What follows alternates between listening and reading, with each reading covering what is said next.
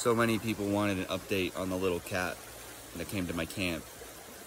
I did not expect so many people to see that video. So it's kind of crazy. But uh, I'll give you a little update on the cat.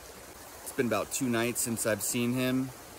Um, he first started coming for first few days, first few nights. He even slept with me one of the nights. It was kind of cool. He like went, he like burrowed himself underneath the sheets and was like snuggling with me.